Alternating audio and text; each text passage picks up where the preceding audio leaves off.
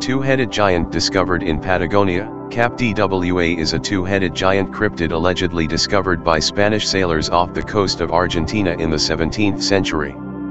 The Patagones or Patagonian giants were a race of giant humans rumored to be living in Patagonia and described in early European accounts. They were said to have exceeded at least double normal human height, with some accounts giving heights of 13 to 15 feet, 4 to 4.5 m. A magnified 3 meter long mummy of a two-headed giant found.